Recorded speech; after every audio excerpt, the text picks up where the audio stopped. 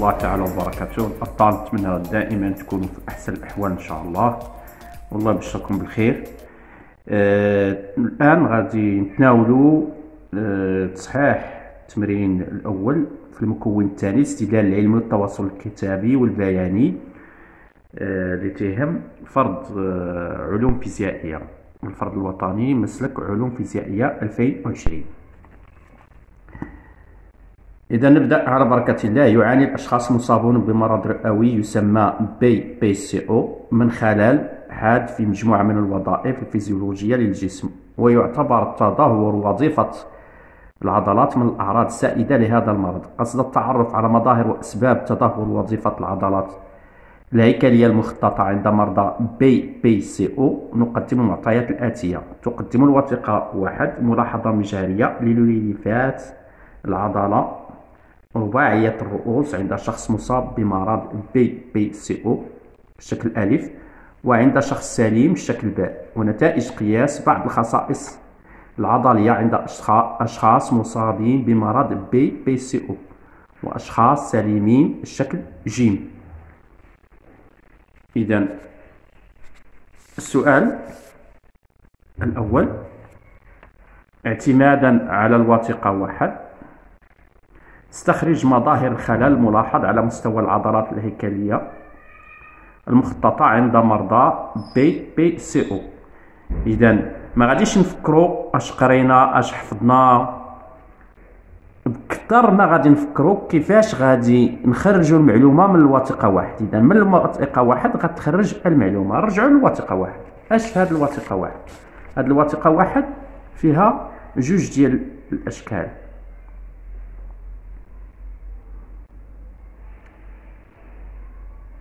اذا كاين صور وكاين جدول. مزيان. هاد الصور المقاطع اش غادي تبين؟ لنا كاين عندنا الشكل ألف والشكل باء. اذا الشكل ألف شخص مصاب لوليفات عضلية ديال شخص مصاب. اش اللي لقينا هنا؟ لقينا الجروح. اذا غادي نقولوا أن عند الشخص المصاب اللوليفات العضلية تحتوي على جروح. قارنا بالشخص السليم. اذا علاش عطاونا هنا الشخص السليم باش نعرفوا الفرق. مزيان. اذا هذه هي المعلومة اللي غادي نخرجوا من هنا. أرانا من الجدول. من الجدول عندنا توتر الرعشة العضلية بنيوتن 60 عند الشخص المصاب و143 عند الشخص السليم أو العادي. اذا التوتر ضعيف. حتى هذا خلل. متوسط مساحة المقطع العرضي لعضلات 80 بينما عند الشخص السليم 110 إذا متوسط مساحة المقطع العرضي ضعيف وكذلك التوتر ضعيف. هذه هي المعلومات اللي خرجنا من هذه الوثيقة. كيفاش غادي نعطيهم كجواب؟ غادي يكون الجواب ديالنا على الشكل التالي. ظهور جروح على مستوى اللييفات أو ممكن نتكلموا على الساركوميرات. ختم ما بين هنا وهنا الساركومير. اللييف شنو هو؟ هو مجموعة ديال الساركوميرات. ثم ضعف توتر الرعشه العضلية ما كنجيبو والو من عندنا. ها هما مكتوبين هنا. ثم مساحة صغيرة للمقطع العرضي لعضلات الفخذ. بالفرنسية كيفاش غادي نجاوبو؟ غادي نقولو les manifestations de la détérioration au niveau des muscles squelettiques qui caractérise la maladie de BPCO apparition de blessures au sein du sarcomère, faible tension de la secousse musculaire, petite surface de la section transversale du muscle.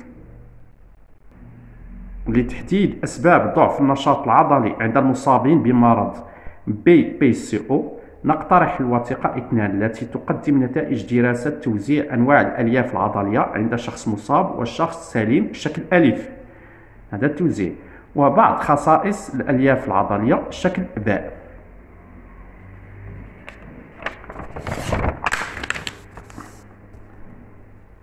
السؤال الثاني. باستغلالك للوثيقة إثنان. قارن توزيع أنواع الألياف العضلية بين الشخص المصاب والشخص السليم ثم استنتج معللا إجابتك المسلك الاستقلابي المهيمن لإنتاج الطاقة على مستوى العضلات عند الشخص المصاب بمرض BPCO إذا هنا من خلال الوثيقة اثنان.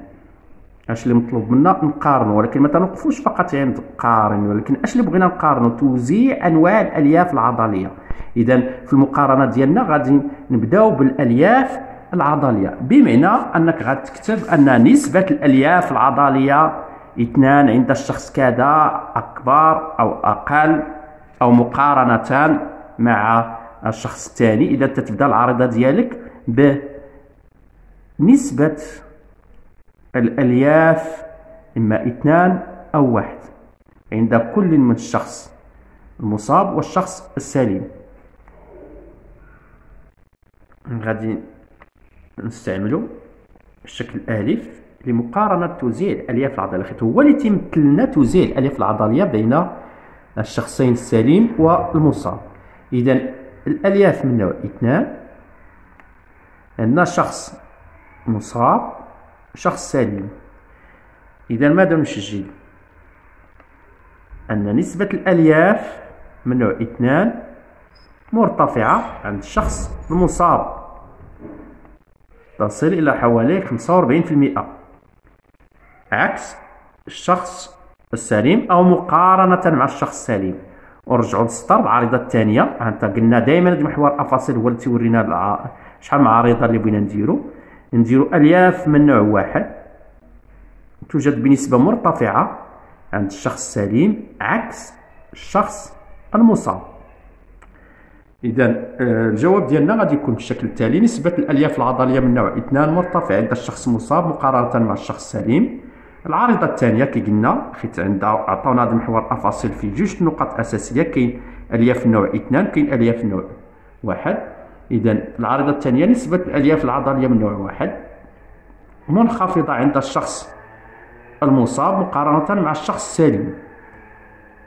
ونذكروا القيم ديالو. إذا عندك هنا تقريبا تتوصل النسبة لواحد 30% وهنا 60% هنا 30 هنا 45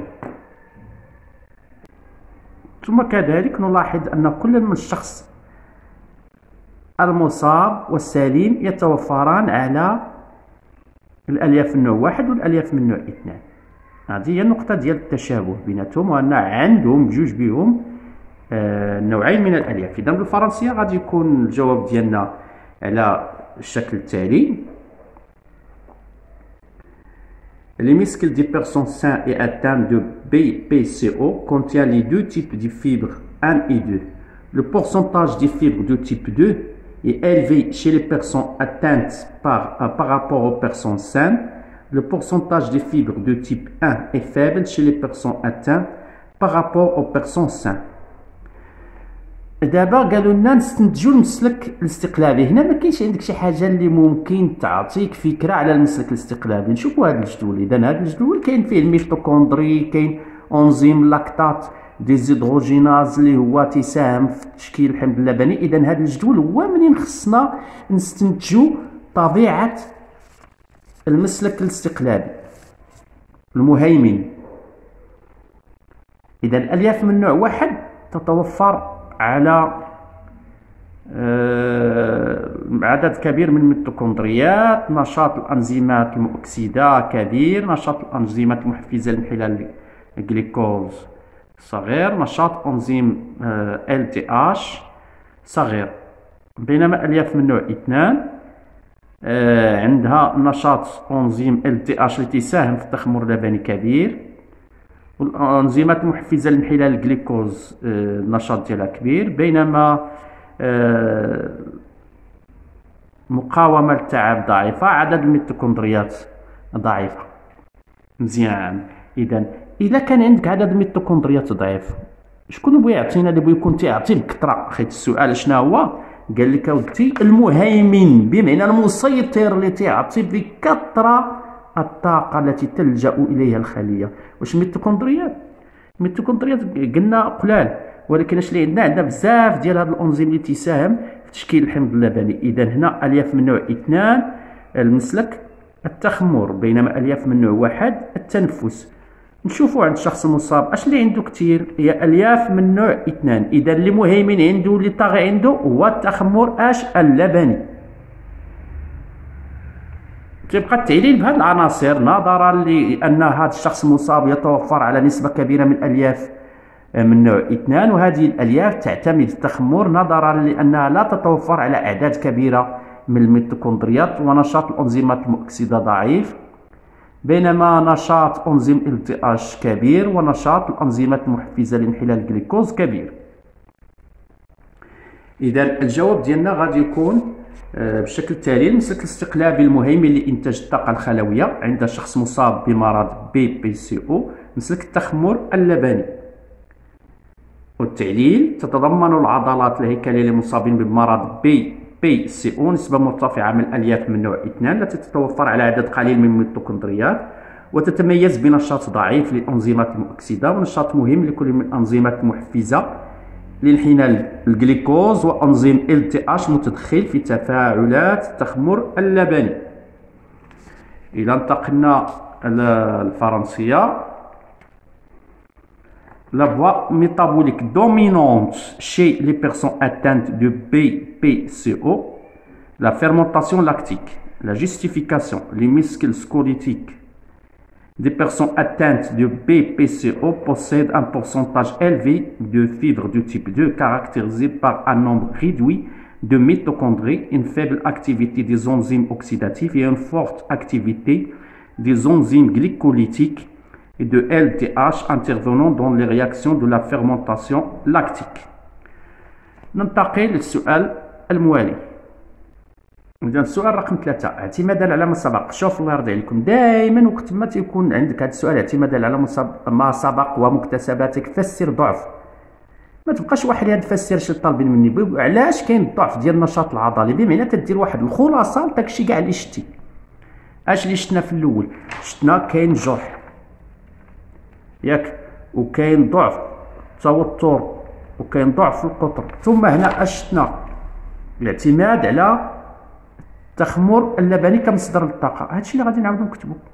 وهذا هو الجواب الصحيح اللي مطلوب. إذا الجواب ديالنا غادي يكون على الشكل التالي. إضافة إلى وجود جروح على مستوى الساركوميرات أو اللوليفات العضلية. تتوفر العضلة الهيكلية للشخص المصاب على نسبة مرتفعة من الألياف من نوع إثنان التي تمتاز بمقاومة ضعيفة للتعب وتعتمد أساسا على مسلك التخمر اللبني ذو مردود طاقي ضعيف. أي إنتاج كمية ضعيفة من الأ بي وهذا ما يفسر ضعف النشاط العضلي عند هؤلاء الأشخاص إذا بالفرنسية explication de la faible activité musculaire chez la personne atteinte de BPCO en plus des blessures au niveau du sarcomère les muscles squelettiques des personnes atteintes de PPCO possèdent un pourcentage élevé de fibres de type 2, caractérisé par une faible résistance à la fatigue et qui utilisent principalement la voie de la fermentation lactique, ayant un rendement énergétique faible, d'où la production d'une faible quantité d'ATP, ce qui explique la faible activité musculaire chez la personne atteinte de BPCO. إذا بالنسبة للسؤال الرابع طلبوا منا باستغلال الوثيقة ثلاثة وما سبق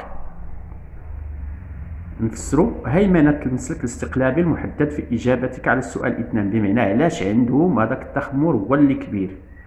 عند المصابين بمرض BPCO غادي نعتمدوا على هذه الوثيقة الثلاثة. ثم المعلومات اللي سبق لنا قلنا في الأجوبة السابقة. اذا أشنو هو المعلومات اللي كاينين في هذه الوثائق؟ إذا بالنسبة للشخص مصاب بمرض BPCO كاين تركيز أنزيم سيترات سانتاز ضعيف تركيز أنزيم كرياتين كيناز ضعيف بينما تركيز أنزيم LDH مرتفع مزيان. هنا تيوريونا اش تيوريونا؟ فين تتجلى مساهمة هاد الأنزيمات؟ الا تكلمنا على السيترات آه سانتاز هو هذا إذا تساهم في السكه اللي هو دورة كريبس. أو ال cycle de Krebs. مزيان. بالنسبة للكرياتين كيناز الكرياتين كيناز هو هذا. اذا تساهم في إنتاج ال ATP عن طريق تفاعل الفوسفوكرياتين مع ال ADP. لإنتاج ال ATP اللازم للتقلص العضلي إذا إلا كان هذا الأنزيم ضعيف سيترات سانتاز بالتالي دورة كريبس سوف تكون ضعيفة. وإنتاج ال ATP من طرف ال mitochondrie غادي يكون ضعيف. ثم إنتاج ال ATP انطلاقا من الفوسفوكرياتين غادي يكون ضعيف لأن هذا الأنزيم اللي تساهم في نقل الفوسفات من الفوسفوكرياتين إلى ال ADP ضعيف. وهذا هو اللي تيفسر اللجوء لاش للتخمر اللبني. لأن عندك حلقات كريبس أو دورات كريبس لا تشتغل جيدا اذا ضعيفة. ثم أنه إنتاج ال ATP بالاعتماد على آه، حلمأة الفوسفوكرياتين ضعيف. إذا ملي بغات تجينا هاد ال ATP غتجينا من تفاعل التخمر اللبني. إذا الجواب ديالنا غادي يكون بالشكل التالي أن التركيز ضعيف لأنزيم سيترات سانتاز الذي يحفز تفاعلات الاكسده التنفسيه حلقة كريبس. ثم تركيز ضعيف لأنزيم كرياتين كيناز التي الذي يتدخل في إنتاج الطاقة انطلاقا من الفوسفوكرياتين. ولديهم تركيز كبير. DH الذي يتدخل في إنتاج الحمض اللبني ضعف تركيز انزيم السيترات آه، سانتاز والكرياتين كيناز يجعل عضلات المصاب تعتمد أساسا على مسلك التخمر اللبني لتجديد الاي تي بي الجواب بالفرنسية.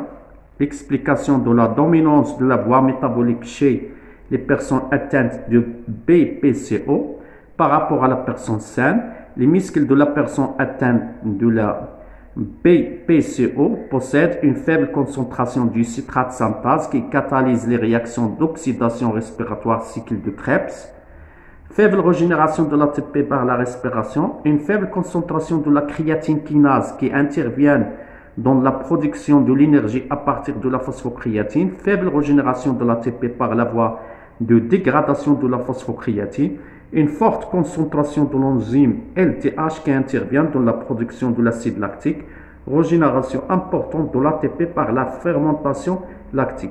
La présence d'une forte concentration en LTH et d'une faible concentration de citrate synthase et de la créatine kinase dans le muscle des personnes atteintes de BPCO favorise leur adoption de la fermentation lactique pour régénérer l'ATP.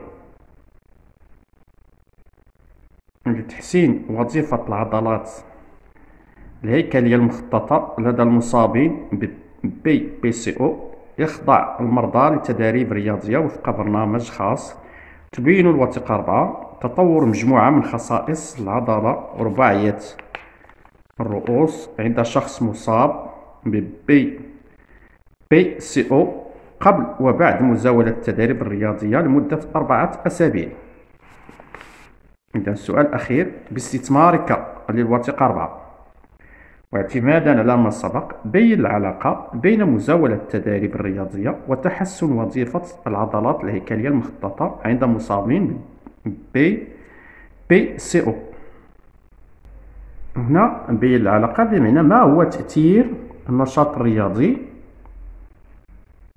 على مجموعة من خاصيات العضلة الهيكلية. إذا التوتر توتر الرعشة العضلية يرتفع. ثم نشاط كرياتين كيناز يرتفع. بعد ممارسة نشاط رياضي. إنتاج الحمض اللبني ينخفض استهلاك الأكسجين يرتفع. إذا التداريب الرياضية تساهم في الرفع من نشاط كرياتين كيناز من نشاط citrate synthase وتخفض من إنتاج الحمض اللبني وترفع من استهلاك الأكسجين وترفع من توتر الرعشة العضلية. إذا الجواب ديالنا غادي يكون بالشكل التالي تؤدي مزاولة التدريب الرياضية عند المصابين بمرض BPCO إلى ارتفاع توتر الرعشة العضلية.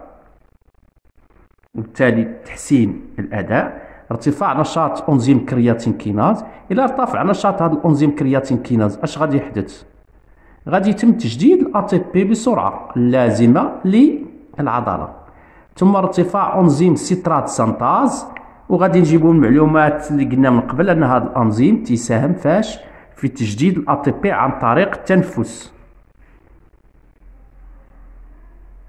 إذا نسجل أن الشخص الذي يمارس نشاطا رياضيا يصبح يعتمد بدرجة أولى على التنفس.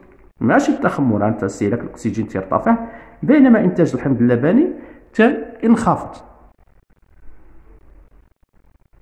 وتتولي عنده أعداد كثيرة من الأ تي بي الشيء الذي يرفع من توتر الرعشة العضلية ويحسن من وظائفها. الجواب بالفرنسية. إذا l'activité musculaire ou bien l'exercice musculaire permet d'augmenter la tension euh, du fibre musculaire ou bien la tension euh, musculaire. Ça permet d'augmenter la tension de la secousse musculaire. On note aussi une augmentation de l'activité de l'enzyme créatine kinase, de même pour euh, l'enzyme citrate synthase, et une diminution de la production de l'acide lactique et une augmentation de la consommation en oxygène. Donc l'exercice musculaire favorise la respiration, ce qui provoque une augmentation de la production en ATP, en ATP ce qui va augmenter la tension de la secousse musculaire. إذا الأجوبة ديالنا غتكون على الشكل التالي الاستئناس أو قريبة من هذه الأجوبة هذه